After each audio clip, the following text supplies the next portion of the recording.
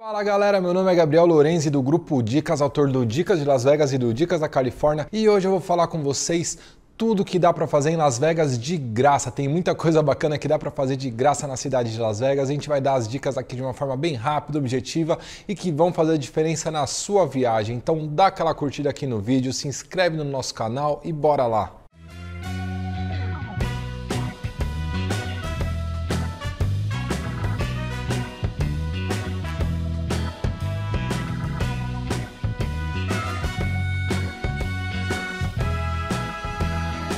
Bom, uma coisa que é legal a gente entender é que Las Vegas é uma cidade de extremos, então você tem os passeios e atrações turísticas mais caros do mundo, como as baladas top, se você quiser um camarote, um show muito legal do Circo de Soleil, com um restaurante aí cinco estrelas, alguma coisa mais refinada, uma suíte presidencial, e você tem muita coisa gratuita para fazer também. É uma cidade que divide bastante aí os gostos da galera e do bolso também de cada um, então você consegue fazer coisas gratuitas e coisas muito caras. A gente separou uma lista bem legal aqui, é um vídeo vídeo que não é pequeno porque tem muita coisa legal de Las Vegas para fazer de graça mesmo. Então fica ligado que a gente vai dar todas as dicas da forma mais organizada possível para você viajar para lá e aproveitar ao máximo a sua viagem. Bom, para quem não sabe, Las Vegas está concentrada praticamente inteira na Las Vegas Strip. Então, todas as atrações turísticas de Las Vegas, aí 90% delas, estão concentradas na The Strip, que é a avenida principal de Las Vegas, uma avenida gigantesca que tem mais de 8 quilômetros aí de extensão, toda ela recheada de hotéis, cassinos, bares, restaurantes, lojas, shoppings, enfim, todas as atrações de Las Vegas. Então a gente vai se concentrar nela. Só tem um item da nossa lista de coisas de graça para fazer em Las Vegas que não está concentrado na Las Vegas Strip, que é a Old Las Vegas. A Old Las Vegas é uma região muito bacana, que é a antiga Las Vegas, que tem os principais hotéis cassinos da cidade, é uma área mais antiga que eles preservaram até hoje. Tem aqueles hotéis mais antigos que a gente vê nos filmes, como no Férias Frustradas, que é o Golden Nugget, tem a Fremont Experience, que é essa rua que tem esses hotéis. Eles fizeram um teto gigantesco de LED, que é o maior teto de LED do mundo, então ficam passando videoclipes musicais, então é uma rua fechada muito legal. Tem palco com artistas, bandas que tocam lá de graça, então é um passeio para você fazer à noite. A gente recomenda que vá de noite, que é a hora que tá mais animado, tá mais bonito, LED aceso, e você consegue curtir a noite inteira lá sem gastar nada. É lógico que você tem que gastar para tomar alguma coisa, um drink, comer algo, mas as atrações por lá já são um show à parte e são todas gratuitas. Agora voltando para nossa Las Vegas Strip, que é onde estão todas as outras atrações. Para ficar um pouquinho mais organizado, a gente vai começar de cima para baixo, tá? Ela começa lá embaixo, no lado sul dela, que é onde tem a placa de Las Vegas e o Hotel Mandala Bay. Ela vai até lá em cima no Stratosphere, que é aquela torre gigantesca, um observatório que tem algumas atrações lá em cima, que é muito bacana também visitar. E a gente vai falar passo a passo o que você consegue fazer de graça em Las Vegas e tem muita coisa legal.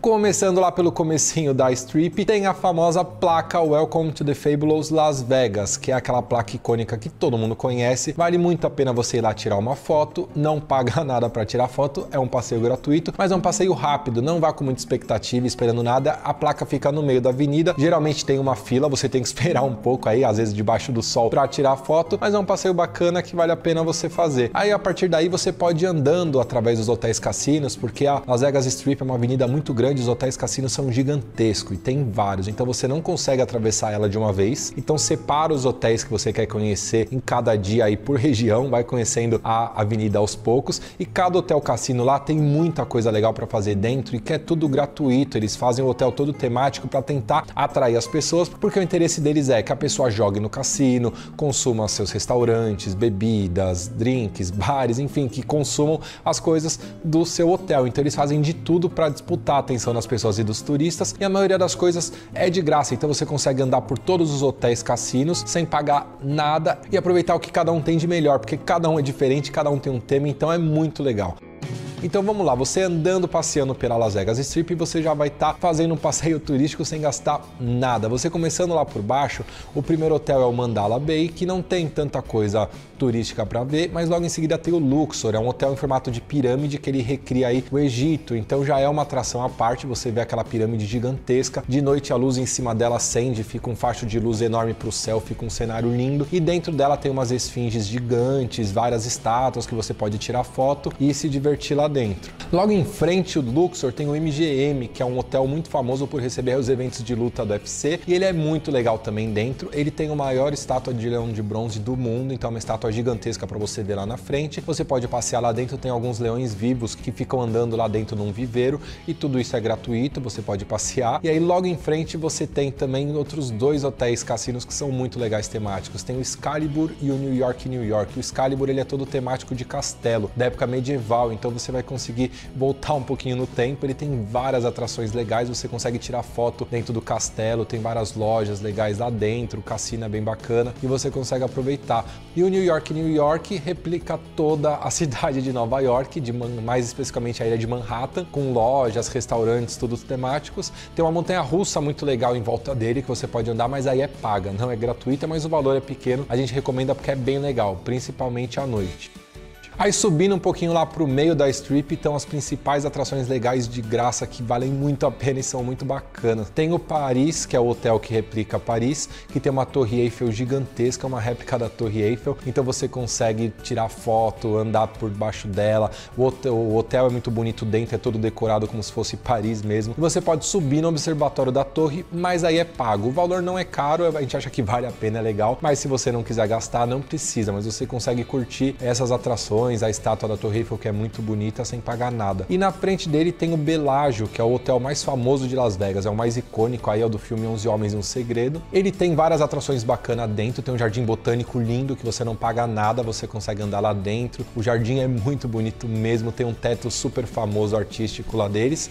E também na frente tem a principal atração, na nossa opinião, que é a mais legal de todas, que é gratuita, que é o show de águas, que são as fontes do Bellagio. Em frente ao hotel, bem na avenida mesmo, você vai estar na na avenida e você vai ver um show de água gigantesco, é uma fonte que eles têm lá na frente. É como se fosse o show de água do Ibirapuera, para quem já viu o Parque Ibirapuera em São Paulo, mas mil vezes maior e mil vezes mais bonito. As fontes são muito maiores, elas são sincronizadas, elas dançam de acordo com a música e são só músicas italianas, tem do Pavarotti, do Frank Sinatra. É uma experiência muito legal, emociona muito. Tem durante o dia, durante a noite, a gente recomenda que você vá durante a noite, que a iluminação é mais bonita, o clima fica muito mais legal. E acontece de 15 em 15 minutos, então é muito fácil de você ver e você não paga nada por essa atração. E aí andando pro lado tem mais uma atração bacana que é do Hotel Mirage, que é um vulcão. Então tem o estouro do vulcão. É um show aí como se o vulcão tivesse entrado em erupção, que é também com luzes, com som, vale a pena você ver. E na sequência do Mirage tem o Treasury Island, que é um hotel que replica aí também um navio pirata. Então tem um show do ataque dos piratas na avenida. É a mesma coisa que os outros. Acontece aí de meia e meia hora, às vezes de uma em uma hora, então dá uma olhada na programação do hotel, mas também é gratuito. Então são três shows muito legais que você consegue assistir de graça graça passeando pela Las Vegas Strip e sem gastar nada por isso.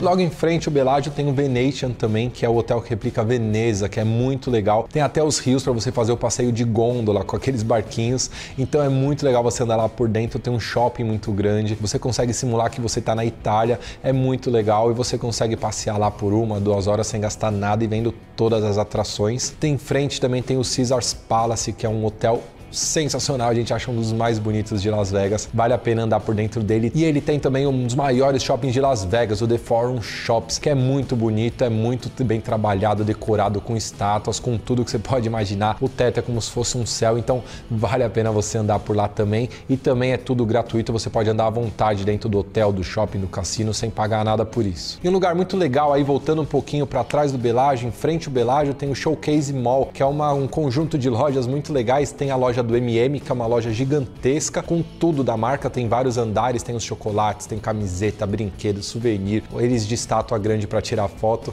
E do lado tem uma loja da Coca-Cola também, que é igualzinha, uma loja gigantesca com tudo da marca, para quem é fã, é muito legal, vale a pena conferir. Então lá você consegue também passear por essas duas lojas que tem várias atrações, tudo gratuito. É lógico que se você quiser comprar uma lembrança em alguma coisa, você vai ter que gastar. Mas as atrações, para você ficar andando pela loja, é tudo de graça.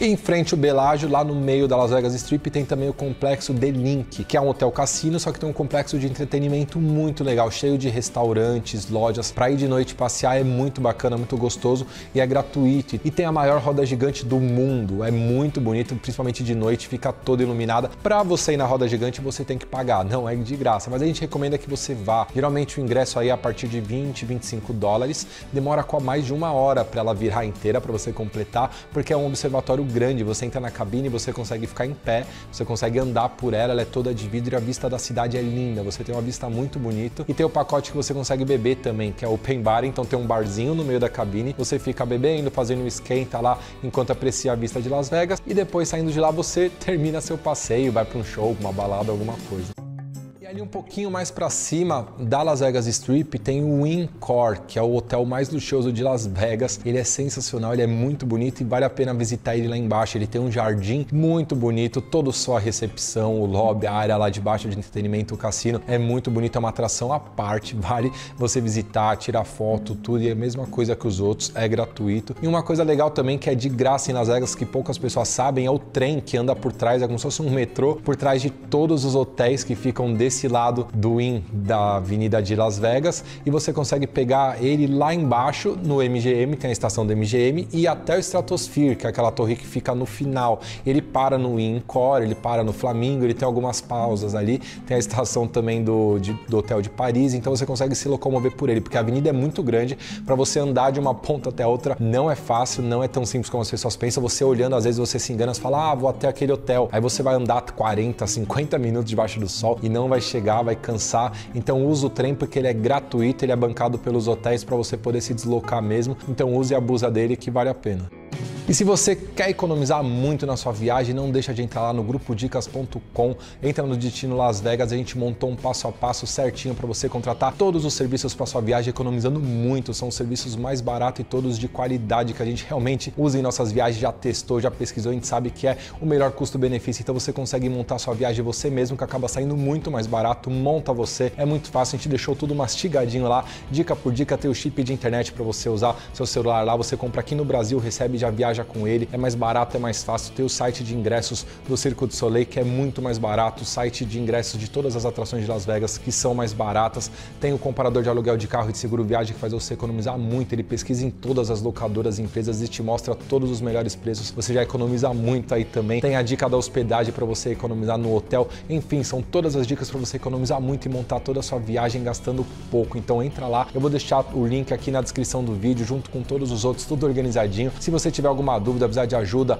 manda um comentário aqui embaixo no vídeo, manda um comentário no, por direct lá nas redes sociais, a gente responde e te ajuda com o maior prazer. E se você quiser dicas mais a fundo, tem nosso blog, o dicasdelasvegas.com.br, que tem mais de mil matérias de tudo que você pode imaginar de Las Vegas. E é isso, galera. Espero que vocês tenham gostado das dicas. Las Vegas tem muita coisa de graça para fazer e muita coisa paga também. Então dá para você fazer um mix aí para sua viagem acabar saindo com um orçamento bacana e você conseguir aproveitar também, porque não dá para só economizar. Você tem que comprar algumas coisas que você já vai estar tá lá e vale a pena conhecer. E se você gostou, dá uma curtida aqui no vídeo, se inscreve no nosso canal, deixa um comentário se você gostou, não gostou, se tem alguma opinião e segue a gente nas redes sociais. A gente está sempre viajando o mundo, tentando dar dicas de viagem de uma forma bem bacana e mostrando a nossa rotina aí de uma forma bem descontraída E não deixa de assistir o vídeo de como economizar muito em toda a sua viagem a Las Vegas. É um vídeo muito bom aí que compila todas as dicas para você viajar para lá gastando muito pouco e contratando os melhores serviços. Eu vou deixar ele aqui do lado, junto com a playlist que tem todos os outros vídeos de Las Vegas para você se organizar direitinho e viajar para lá sabendo de tudo. Então é isso, galera. Muito obrigado e uma boa viagem.